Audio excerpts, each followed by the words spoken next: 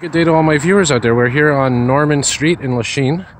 Uh, about to go check out some 3900 series hybrid buses uh, that one of my fellow YouTubers, Burnt Director, told me about. Uh, but before I get there, check this out. This is the strangest pedestrian crossing I've ever seen. Well, first of all, there's no sidewalk here. This entire street is uh, pretty much just a road. Now look at this narrow opening here for uh, vehicles to get through. You'll see this one go through here. It's only enough for one lane. So I don't know how exactly this pedestrian uh, cross here works.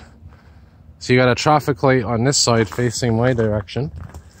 And there's another one facing the other direction, but there's no sidewalk or anything. Let's see what happens here. I really don't know how this thing is going to work.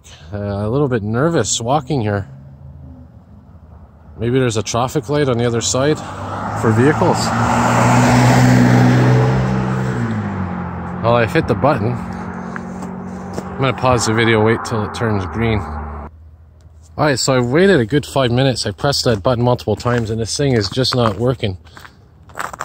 And uh, I'm gonna cross over on this side. I'm gonna play some Frogger here.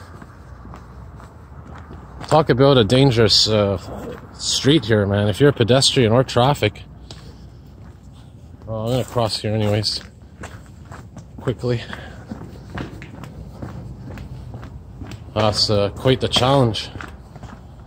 Alrighty, so we're, we're, almost at the Provo or Prevo, wherever you want to call it, plant or uh, parking lot. But uh, anyways, just thought I'd share that on the way. Alright, see y'all soon.